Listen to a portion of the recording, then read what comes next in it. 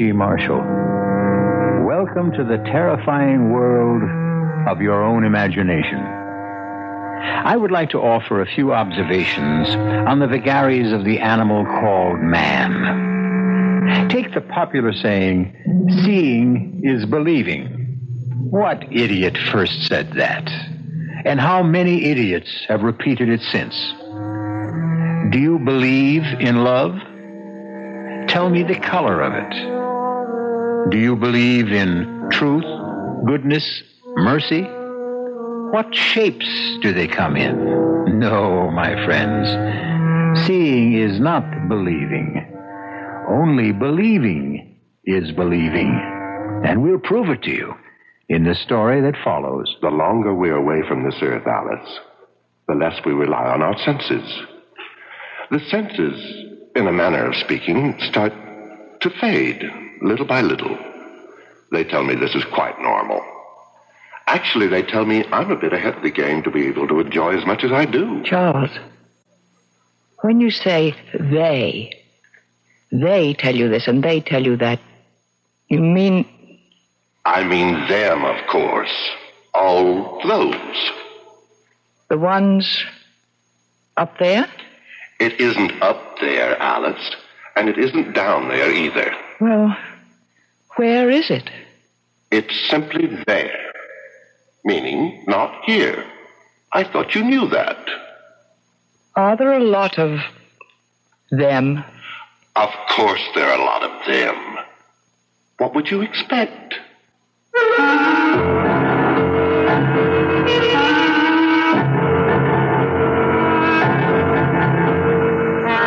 Our mystery drama, The Ghost at the Gate, was written especially for the Mystery Theater by Elspeth Eric and stars Beatrice Straight. It is sponsored in part by Anheuser-Busch Incorporated, brewers of Budweiser. I'll be back shortly with Act One.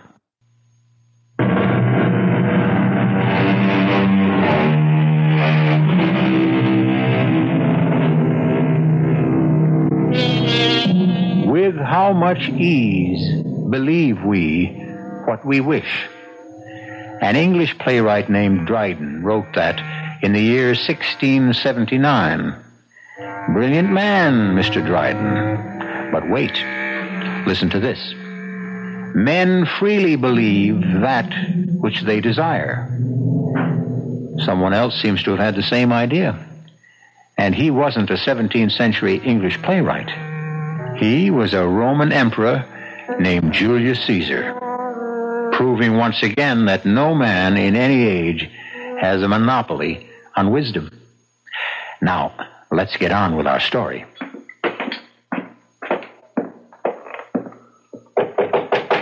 Come in, Dorothea. Your chocolate, Mrs. Emery. Oh, good. Uh, shall I light the fire in the fireplace? Yes, please. I think it's chilly enough for. Oh, Dorothea. Ma'am? You forgot the other cup again. I did. I told you to always bring two cups. Oh, it seems so silly. I'll decide what's silly. When there's just you to drink it. I've explained that to you, Dorothea, more than once. I like to drink two cups of chocolate before retiring, and I don't like that icky sediment in the bottom of the cup. Uh, I'll try, Mrs. Emery. Um, now, if that's all, or, or do you want me to go downstairs and fetch up another cup? Oh, no, no. Go to bed. Oh, good night, Mrs. Emery. Good night, Dorothea. All right now, darling. Chocolate's all poured, fire's lighted. Charles, everything's ready. Now, come on, darling, or the chocolate will get cold. Don't want any chocolate. Oh, Charles, you love chocolate. You always love chocolate. Tastes like mud. But it's very good chocolate. You know what good chocolate Dorothea makes. Now, come on, Charles. Don't make me wait. You want me? Want you? Oh, Charles, how can you ever ask such a thing?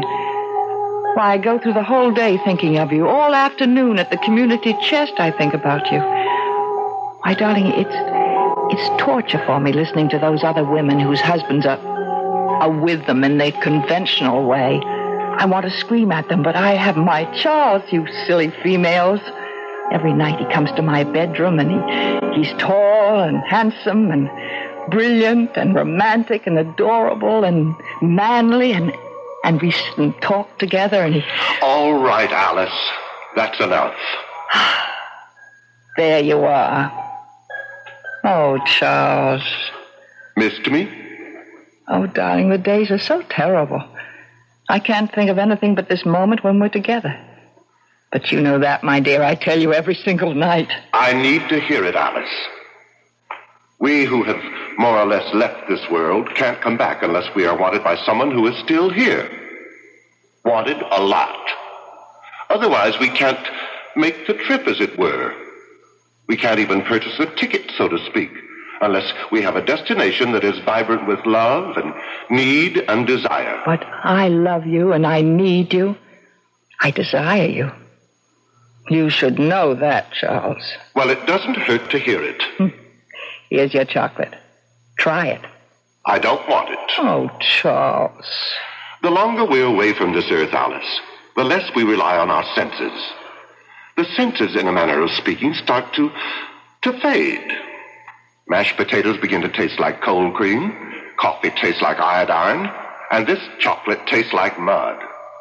They tell me this is quite normal. Charles, when you say they, they tell you this and they tell you that, you mean I mean them, of course. All those. the ones up there? It isn't up there, Alice, and it isn't down there either. Well, where is it? It's simply there. Meaning not here. Heavens, I thought you knew that. Are there a lot of of them? Of course there are a lot of them. It's all so vast, so endless, and so damnably peaceful. I know what it is to be lonely, Charles. This big house, I couldn't bear to move out of it after you weren't here all the time because I couldn't leave the place where you and I'd spent so many happy years together. Why don't you ask someone to move in with you? Move in? Why, I, I never thought. Such a large house. You could have separate quarters. You wouldn't be forever bumping into each other. But who would want to move in? Who would I want to move in? Oh, some old good friend? Well, like who, Charles? Oh, someone like Connie, maybe. Connie Lawrence. Connie Lawrence. Well, I've certainly known her long enough. We were roommates at school. What do you think she'd want to? She'll jump at the chance, would be my guess. She still lives in that tiny one room apartment. I, I know she's saving for her retirement. And with the pay school teachers get in this town. Charles, I'll call her tomorrow. She gets home from school at three.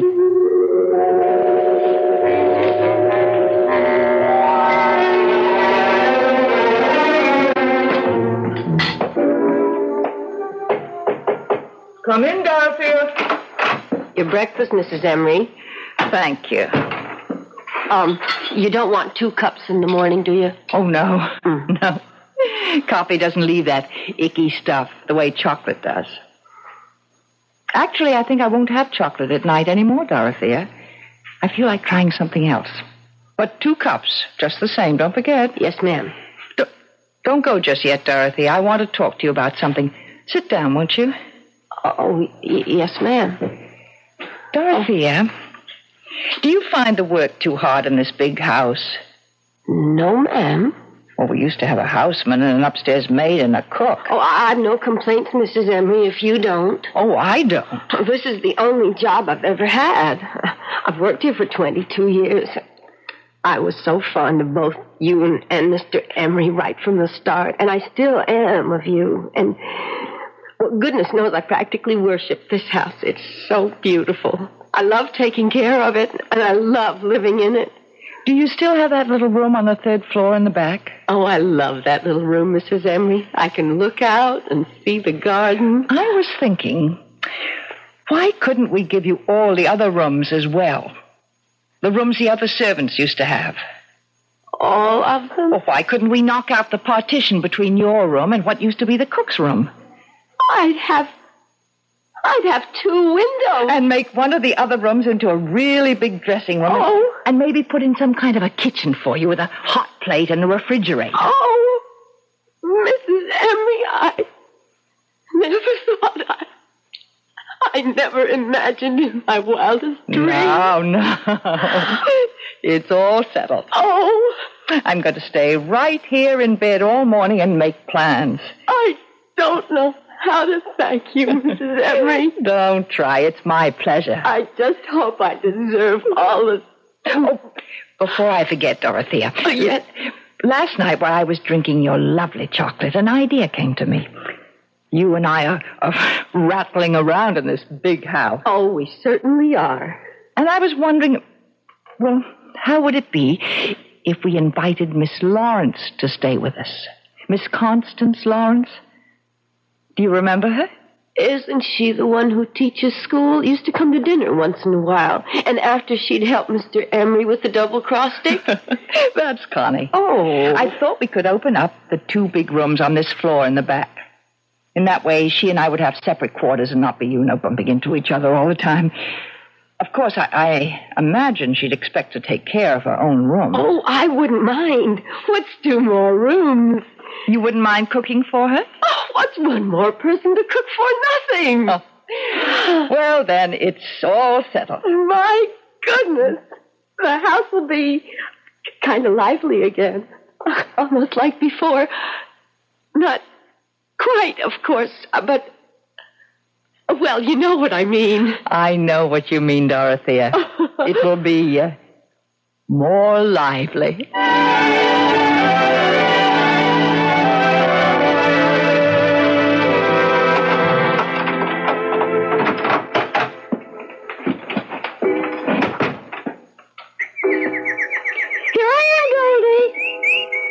My coat off, will you? Then I'll scratch your head for you. Oh, dear. You're just going to have to wait. I'm sorry, Goldie. Hello? Connie, this is Alice Emery. Alice! How are you? Long time no see. well, I don't get out a great deal. Maybe we could have dinner some evening. Would you like to come here? Well, I, I thought you might like to come here. Well, if you'd rather. Heaven knows your dinners are better than mine. Connie, I want you to come here for good. I mean to live. To live? To live with you? Why not? We've known each other practically all our lives, and I've got this huge house. I've got Dorothea to look after us. You could have your own quarters overlooking the garden. We live quite independently since I'm in the front, and you're at school till three, and by the time you get home, I'll be at the community chest. We'll just meet for dinner. Maybe have a little nip together first. Oh, Connie, say you will. Oh, Alice, I don't know. I I've lived here for so long. That tiny little place. High time you got out of it. But I'm used to it. And then there's Goldie. You know, my canary. Bring Goldie with you. We'll find a nice sunny window. Alice, it's all very tempting, but I don't know. Think about having two big rooms and vegetables out of the garden and being waited on. And Connie, think of the money you'll save. Well, yes, but all the same. Just got to say yes, Connie. Take the afternoon to think about it and call me back. I will, Alice. I'll call you soon. Fine. Bye. Bye, Alice. Oh, dear. It all sounds so luxurious. Two rooms and fresh vegetables. And someone to cook for me. Mm, But I can't leave this little place. I can't give up my afternoons. Why, I couldn't live without my afternoons. I, I know this place is small and dark and furniture is dingy and the bathroom is old fashioned. But we've never minded, have we, dearest? Have we? It's a very small place, Connie. But if I move into Alice's house, I might lose you forever. You might never come to visit me again, and all my lovely afternoons would be really over. You're not to worry, Connie. You mean we can go on as we always have? Only we'll have more room. Well, if you say so. Trust me, Connie. Oh, I do trust you, Charlie. Haven't I always trusted you? All these years.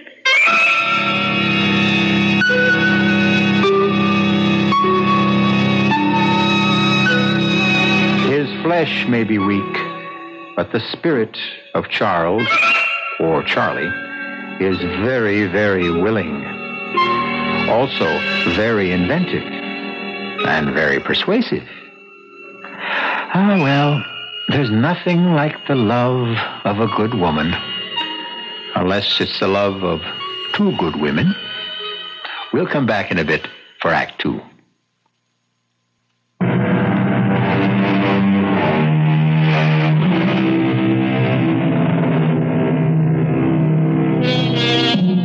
Now we come back to our story.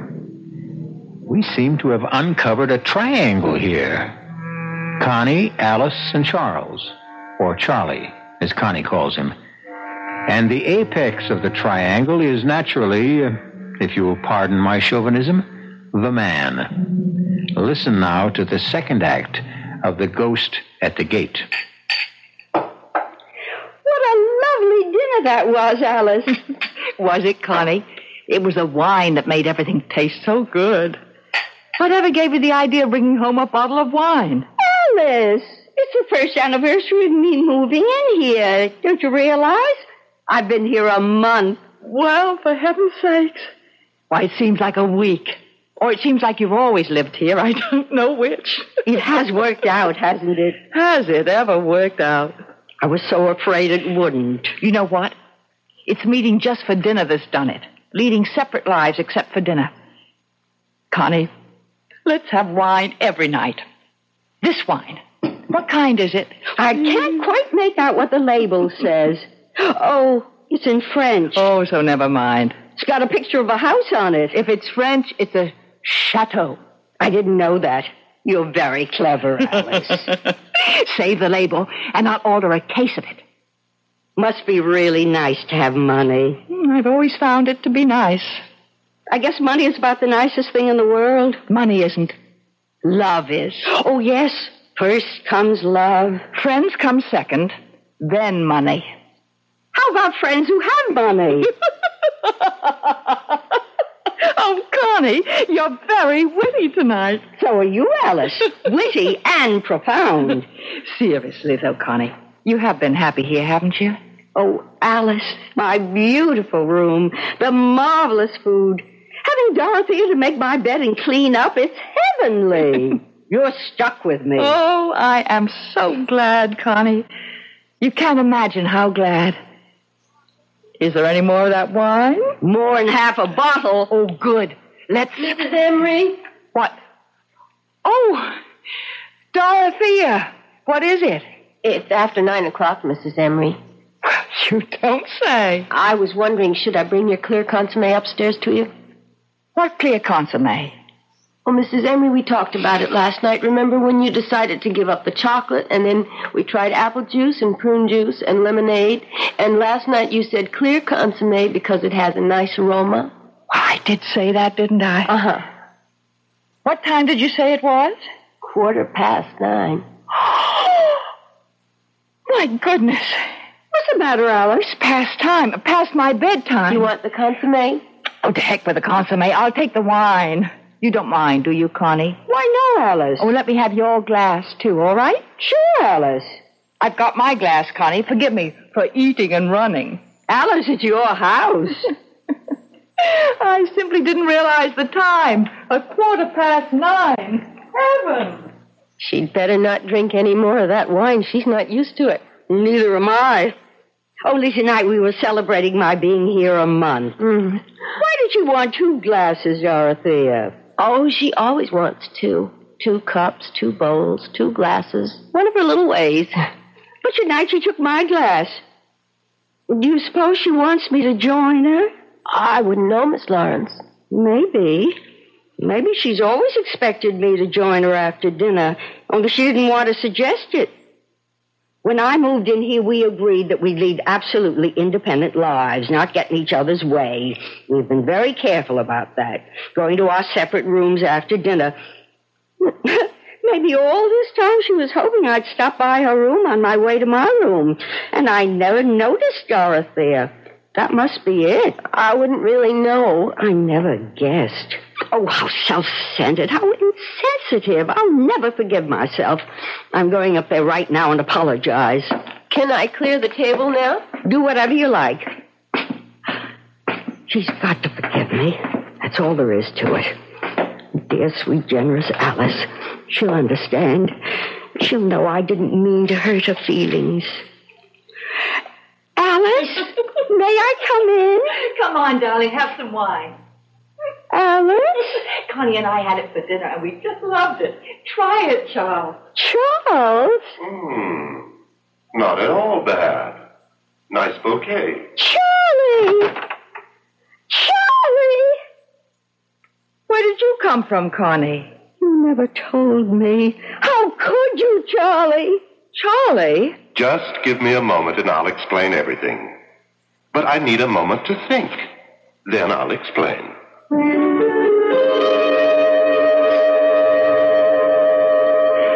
What did you think of Charlie's explanation? I've heard it all before. How he needs lots of love to make the trip from there to here. He always needed a lot of love, even when he was just here. Well, he got a lot. Did he really spend all those afternoons with you? I mean, before he left here and went there? Five afternoons a week. Alice, do you hate me? I should. I know, but do you?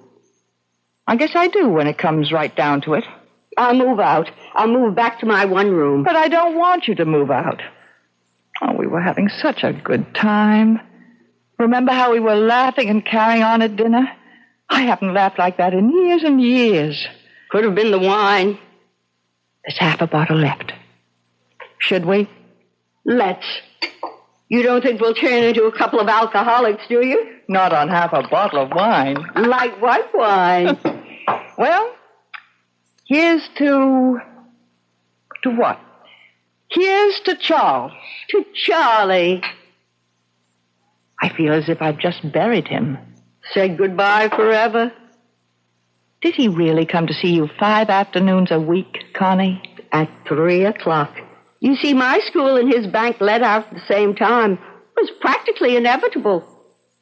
Charlie was a no good man. He still is. Only now he's a, a, a A no good ghost. oh, Alice. There's enough wine left for a glass apiece. Fill her up. Hold out your glass. All that guff about needing to be loved and wanted or he couldn't make the trip. Remember what we were saying at dinner, Connie, about love being the most important thing? I've always believed that. And friends being the second most important thing? Especially friends like you, Alice. And like you, Connie. I feel closer to you right now than I've ever felt to anybody. My mother, my father, my canary. We've been through a lot, Connie. Just in the last half hour. And yet we're still friends. Isn't that amazing? Truly remarkable. It must mean something. Something very profound. Like what? Like, well, like there are times in a person's life when love isn't the most important thing. Friends are. A friend is. Yes.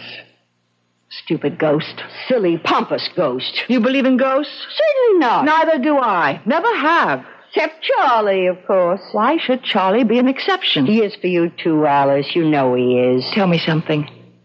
Why do you believe in him? Because Why? I want to. That's why I believe in him, too. Is that wrong? Not wrong, but you've got to stop, and I've got to stop. We can't have him visiting you in the back of the house from 3 to 6 and then coming to see me in the front of the house from 9 to 12. Now that we know. It wouldn't be nice. Well, we couldn't be friends anymore. Oh, Alice. But if we don't believe in him, if we don't, or don't desire him, then he'll have to go back there and stay there. He won't be able to come here anymore.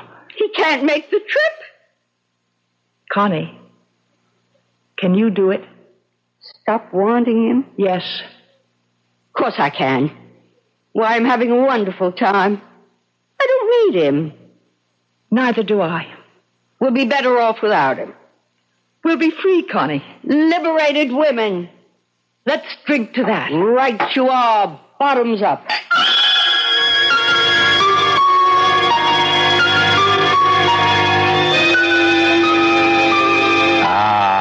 Courage lies in the bottom of a glass.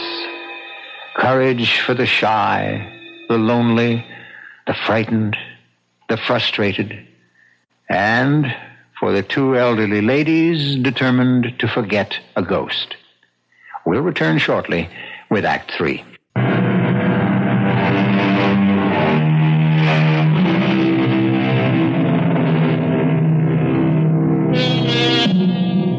Alice and Connie are bravely resolved to forget the man both had loved so long.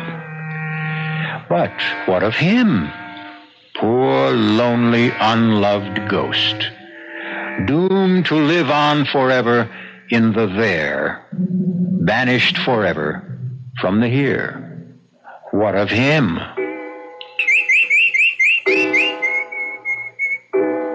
Connie. Connie. Speak to me, Connie. That's my sweet Goldie. That's my lovely bird. Happy to see me, sweetheart? Connie. I know you're here. I'm here, Charlie, but you're not. I am so. I don't believe in you anymore. You do too. And I don't love you or want you. So there. Connie. You are being very cruel. I expect I am. If you don't believe me, why are you talking to me? Don't try to confuse things, Charlie. Answer my question. Why are you talking to me if you don't believe in me? Goldie, tell that ghost to go away.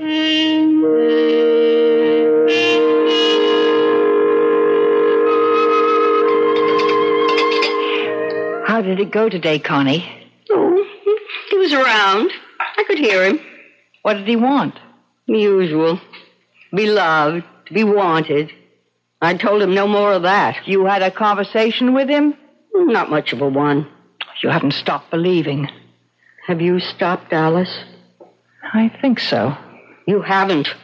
If you'd stopped, you wouldn't say, I think so. You'd know. Oh, Connie, how can I know? Mrs. Emery, What is it, Dorothea? do you want clear consomme in your room tonight or what? Nothing. Not anything? Not a thing. Oh, well, all right. Um, I had it all ready, but uh, That ought to show him, don't you think, Connie?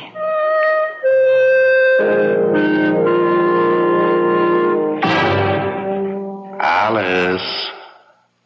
It's Charles. It's Charles, Alice.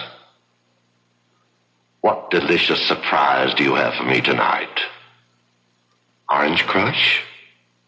Pomegranate juice? Not a blessed thing, Charles. Ah, you spoke. I didn't mean to. But you did.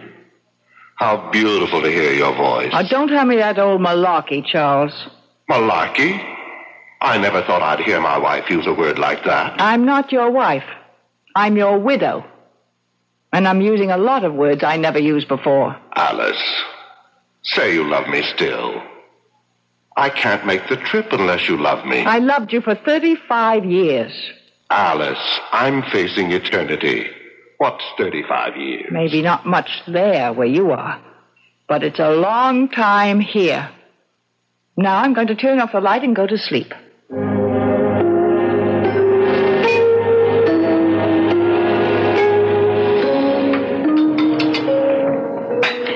I was talking to him before I could stop myself. It was the same with me. But he couldn't complete the trip because I wouldn't say I loved him. Same here. And I really don't think I do love him, Connie. I think I just got into the habit. Me too. What does he want to hang around for? I can't imagine. Must be so beautiful there where he is. Why should he want to come here? He says it's very peaceful there. Sounds heavenly. Not much like here. Alice, that's why he keeps coming back. He can't stand the peacefulness. He isn't having any fun.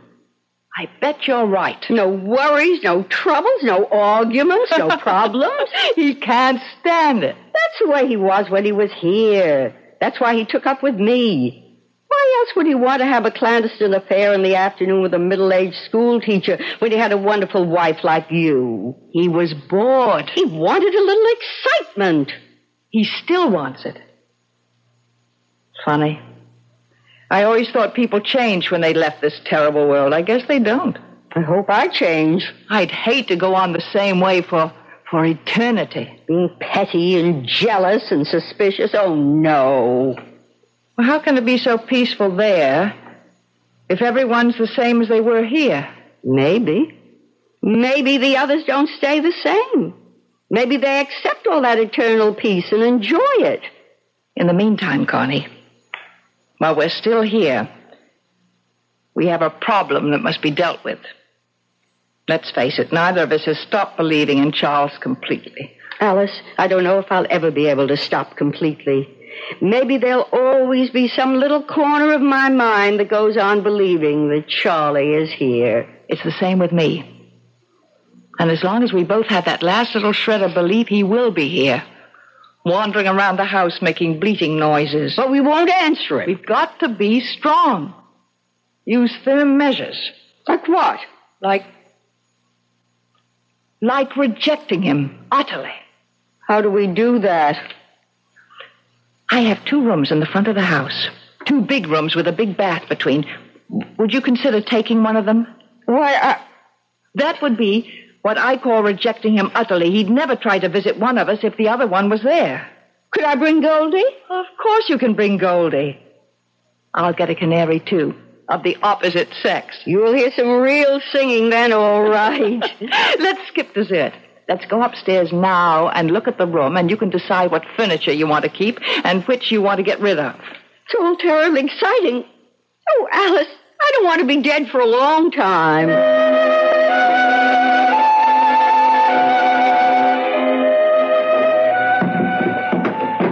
There. The desk between the windows and the chair here. We'll take out the love seat. And that'll leave room for the bed. What do you think, Connie? I think it's perfect. Now, what color do you want the walls painted? Uh, blue. Blue? Really? I'd have thought with your dark hair you'd have wanted pink or yellow. Blue's such a nice background for Goldie. I'll tell you a secret, Alice.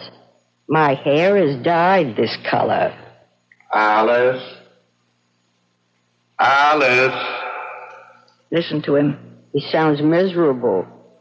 I expect he is. You really dye your hair, Connie? Do it myself. Want me to? I'll show you how. I wonder why I ever let myself go gray.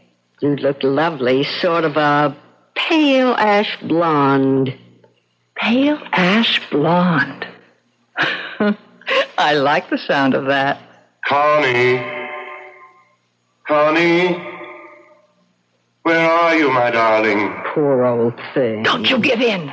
Oh, I won't. I won't. Be strong. Oh, I will. I swear. Connie. Now, you said blue for the walls. Now, what shade of blue? Aquamarine, turquoise, robin's egg? Turquoise. Good.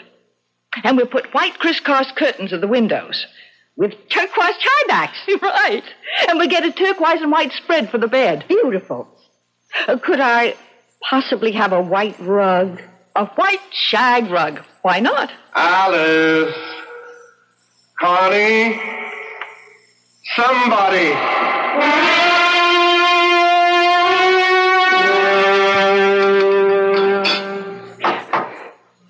Do you mean to sit there and tell me you didn't even take one peek at your new room? I wanted to wait till you got home from community chest. Well, right after dinner, we'll look at it together. What if the color is wrong? The painter showed me a sample, pure turquoise. we'll eat fast. I can't wait to see it. Dorothy had the bed moved in. Oh, Connie. I hope we'll get along as well as we've been getting along after you move in. We will. We will. And Charlie will go back there and settle down. He'll be much better off. He'll thank us. If I know Charles, he won't. Well, if you don't know him, I don't know who does. Unless it's you. You know, you're right there. Connie, I had a thought. What if I went to the community chest in the morning instead of the afternoon? That way, when you get through school, we could do things like, like go to the movies. Oh, Alice, what fun! And you know what else? Weekends, we could take a train into the city and see a play. Or a concert. Or go to a museum. Oh, Alice! All those things I've been wanting to do, only I didn't want to do them alone. And you know what else? You mean there's more? Well, you have that two months off in the summer. We could go to Europe. Europe? I'll pay, of course. Now, don't argue. I'm your rich friend, so I'll pay. Alice, say it again. We're doing the right thing by Charlie, aren't we? Charles must stop being a ghost and settle down. and be happy. He will be happy, won't he? Charles will be happy there in whatever way they are happy there. Just as we will be happy here. I dare say the ways are different, but to each his own. Isn't that the expression? Oh, you do have a way of making everything sound simple. It is simple. If you stare the facts in the face and don't waver, I hope we're not being selfish. we're being realistic, that's all. Sometimes realistic and selfish look like the same thing, but they're not. Finished your coffee? Uh huh. then guess what we're going to do? Go look at my new room. Yes, only wait a minute. Dorothea, I simply can't wait to see it. Yes, Mrs. Emery. you know that case of French wine I ordered? Did it come? The one with the picture of the chateau on the label. It came last week. Well, will you uncork a bottle and bring it upstairs to my suite? To our suite. Oh, Alice. And two glasses. Yes, Mrs. Emery. Connie, you and I are going to drink to a brand new life. Three new lives. Yours, mine, and his. Come along.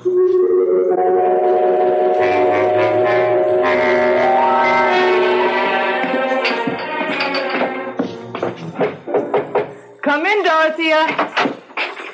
Oh, good. The wine's arrived. Just set it down here, Dorothea. Yes, ma'am. Dorothea, Miss Lawrence and I have decided to go to Europe for two months this summer. Oh, So you'll have a good long vacation instead of your usual two weeks. Full salary, of course. You're free to go where you like, or, or you can stay here. oh, thank you, Mrs. Emery. Uh, I don't know where I'd go exactly. Well, suit yourself. Pour the wine, Connie. Will uh, that be all for this evening? That'll be all. Uh, then I'll say good night to you both. Good night. Sleep well, Dorothea. Thank you. Two whole months. They'll be gone two whole months. What'll I do with myself? Dorothea? Where would I go? Dorothea? What would I do if I stayed here in an empty house? Dorothea? Can't you hear me? I'd be all by myself. No, you wouldn't. No, you wouldn't. If there were just somebody. There he is. There he is. If you'd only listen. Somebody like. like him. There is me, Dorothea. Oh, Dorothea, hear me. But he's gone, Believe in me. never to return. Love me. Want me. And I loved him so. Dorothea, listen. And I still do. Oh, I love him still. Dorothea, look at me. Why, Mr. Emery. I thought you'd never notice. have you. Have you been here long? Not too long. I'm so surprised. thought I'd n- never see you again. Ever. Well, now you do. It's like a, a miracle had been performed. A lot of good hard work is more like it. I've never forgotten you. Really? I. Well, I know it was just that one weekend when Mrs. Emery went to her 25th college reunion, but I've never forgotten. That that was quite some time ago. I was younger then, of course. You haven't changed, Dorothea. Not an iota. Oh, Still fresh, plump, and and adorable. oh, you mean that? I've never meant anything so much in my life. Or since. Dorothea, could you love me? Oh, But I, I do love you, Mr. Emery. You do? I've never loved anyone else. Not since that weekend. You came up to my room on the third floor, don't you remember? That tiny little room. Yes, I do remember. Oh, um, you're going to be around for a while? For a long while, Dorothea. Practically indefinitely. Will you be here this summer? This summer and this fall and all next winter and next year. For as long as you want me, Dorothea. Oh, Come on. Let's go up to the third floor. Mr. Emery, could I ask you something first? Anything, Dorothea. Uh, anything. Do you mind if I call you Chuck?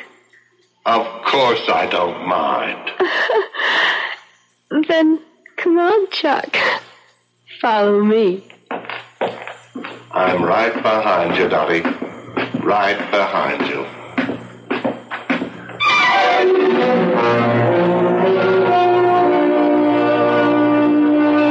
So Charles continues his mad pursuit of life after death. And I, for one, wish him the best of luck.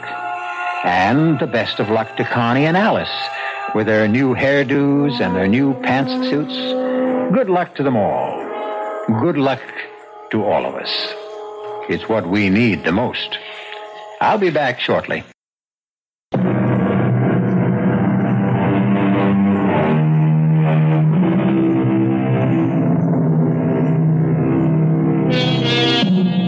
I hope you enjoyed our little ghost story.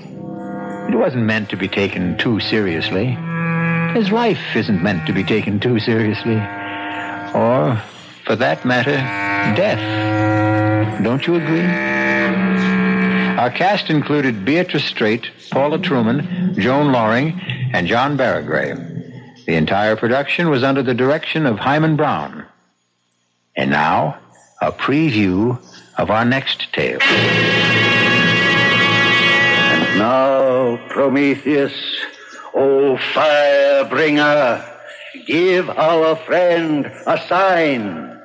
A sign, O fire bringer, a sign. The ledger's on fire. Drop it, Johnson! Drop it! Ah, fear not, fear not. We are all safe. None of us has transgressed. I now call upon Prometheus for another sign. A sign directly for me. Watch now, Casey. Watch. You see, Casey? The man's a sheet of flame. He, he should be burned alive. But he'll emerge unharmed when the flames die down. It's a miracle, Casey. It's impressive, but I don't believe in miracles. Radio Mystery Theater was sponsored in part by the Kellogg Company, makers of Kellogg's Special K cereal. This is E.G. Marshall inviting you to return to our Mystery Theater for another adventure in the macabre. Until next time, pleasant dreams.